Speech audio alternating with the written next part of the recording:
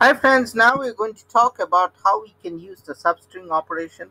Uh, whenever I think of substring operation, it's always uh, sometimes we have to get because lots of times the date uh, field that we get is in uh, eight character and then we need to put you know put a dot or a slash to make it more beautiful and pretty.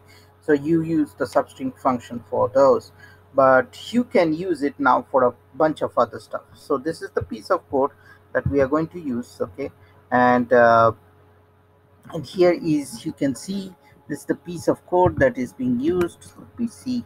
Uh, i think uh, i made this uh, thing a little smaller. Let me see options. And the icons well, the icons are fine. Okay.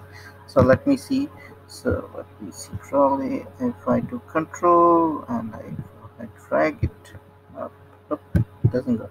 Okay oops i think it does.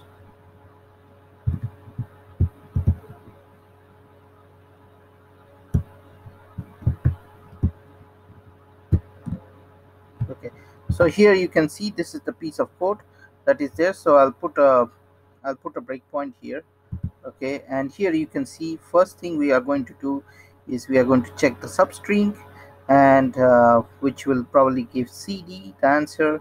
Let's let's debug and we'll find it. Oops that's a problem. When i'm just clicking it it becomes smaller.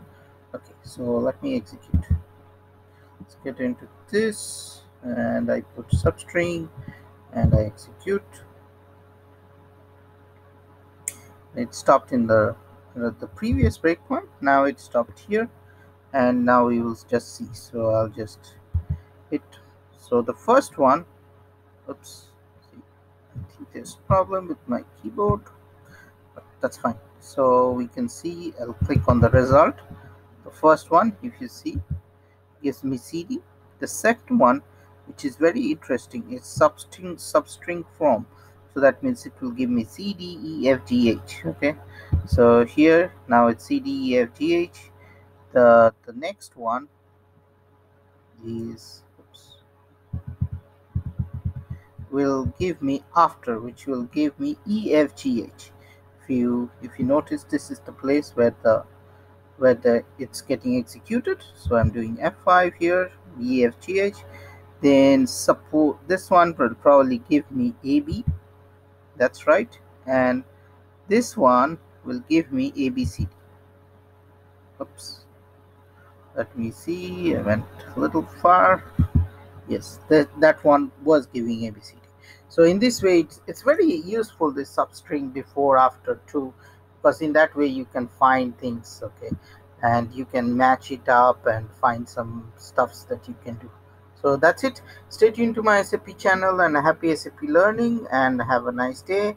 And if you like it please subscribe to this channel because there's videos coming every day and very essential. Thank you and have a